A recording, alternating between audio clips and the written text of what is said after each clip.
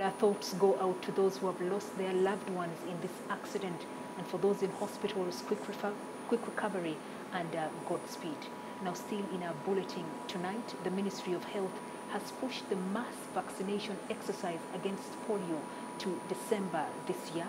It should be noted that on the 21st of July this year, the Minister for Health announced the outbreak of polio in the country and also announced a nationwide village to village mass vaccination exercise of all children under the age of five against polio. We have the details in the following report. The mass vaccination exercise against polio was initially expected to start in October this year.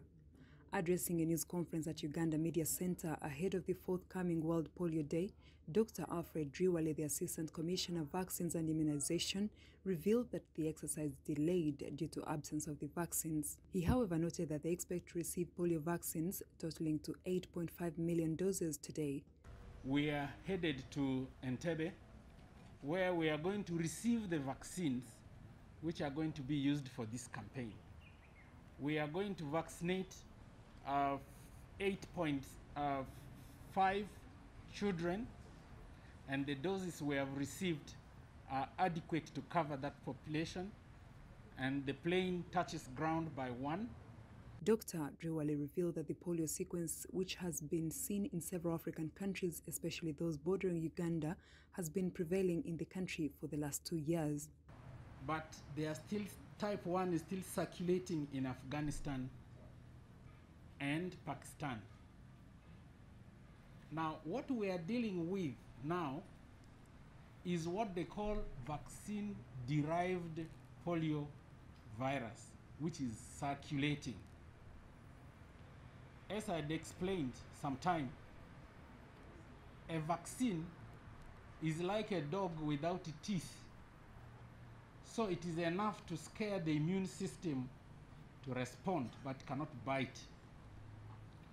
So the, the modified polio vaccine can seed viruses which, which continue being transmitted from one person to another.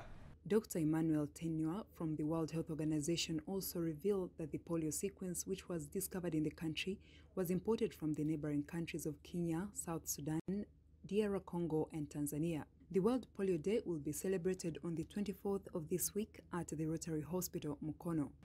It is just an imported type, one type of vaccine drive and uh, type of polioviruses, not originally from the country here.